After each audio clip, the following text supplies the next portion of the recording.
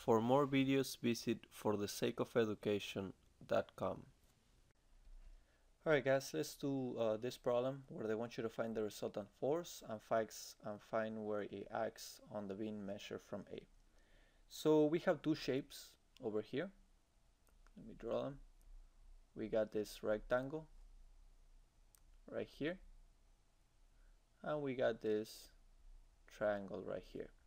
You know that the equivalent force of a triangular distributed load acts one third from the big edge. That would be one third. One third of 4.5, we're measuring from A. One third of 4.5 is equal to 1.5 meters.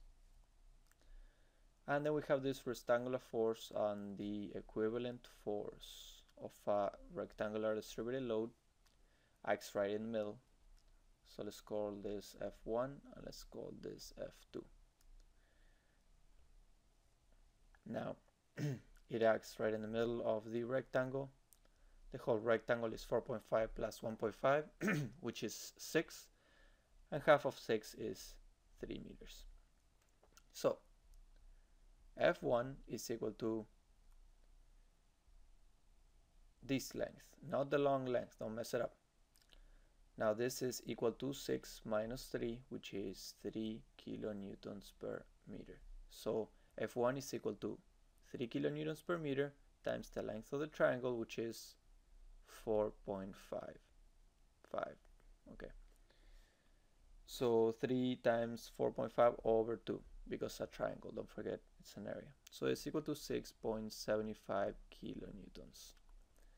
F2 is a rectangle, so it's 3 times the length of the rectangle, which is 6, which is equal to 18 kilonewtons. So the resultant force is equal to the sum of them two, the sum of F1 and F2, and comes out to be 24.75 kilonewtons.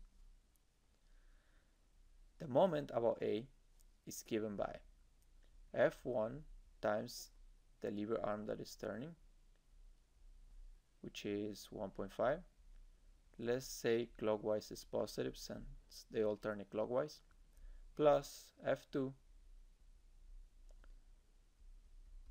times 3 so when you plug your numbers in you're gonna get that the moment is equal to 64.125 kilonewton meters. This is the resultant force and to find where acts on the beam measured from A you find it by the moment about A is equal to the resultant force times the distance which is the what we're trying to find. The moment is 64.125 the resultant force is 24.75 and the distance is the variable we're trying to find. So D comes out to be 2.59 meters. Now, is D to the left or to the right? It's obviously to the right. There's nothing to the left of, of A, but it's to the right because the moment is clockwise. If the moment is clockwise, D has to be to the right of A, if it's going down, of course. So it's at 2.59, so I would say somewhere around here. Actually, a little more, let's say right here. That will be FR.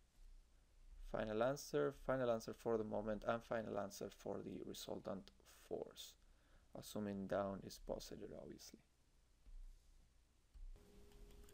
Please comment below if you want me to do any problems and I'll be happy to help. Thank you.